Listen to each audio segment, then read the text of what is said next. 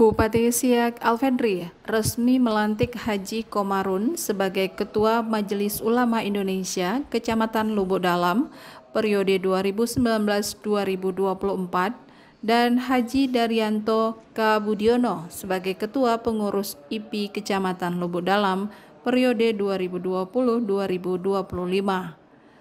Atas nama pemerintah, Bupati Siak mengucapkan selamat dan tahniah atas pengukuhan pengurus MUI dan IP Kecamatan Lubuk Dalam, dirinya berharap semoga seluruh pengurus bisa menjalankan amanah dan tugasnya sesuai dengan yang diharapkan.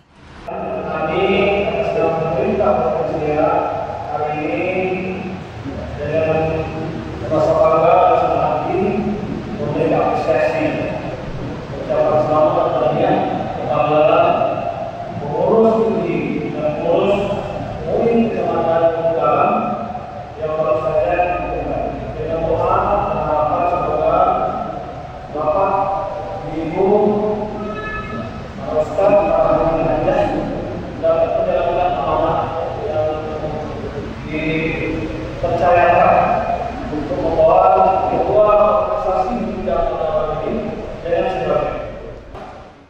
Selain itu, dengan adanya pengurus MUI Kecamatan Lubuk Dalam, diharapkan dakwah dan ukhuwah Islamiyah di Kecamatan Lubuk Dalam semakin membaik, serta koordinasi antara pemerintah kecamatan dan kabupaten, khususnya di bidang keagamaan, dapat berjalan dengan baik.